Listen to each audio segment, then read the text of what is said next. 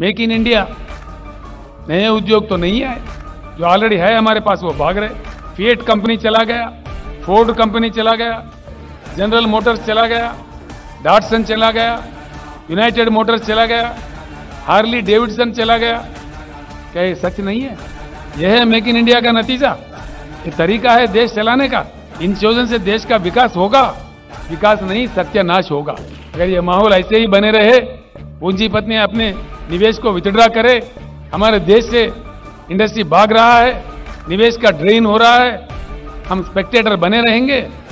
देश का सर्वनाश होगा। बड़ा ही दुख होता है। हो क्या रहा है और प्रचार क्या किया जा रहा है? ये कितनी गलत बात है।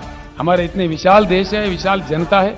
140 करोड़ करोड़ पे पहुँच रहा है हमारे पॉपुलेशन इनके साथ जो आप खिलवाड़ा कर रहे हो, मज़ाक कर रहे हो, ये देश के हित में अच्छा नहीं है। बिल्कुल गलत है।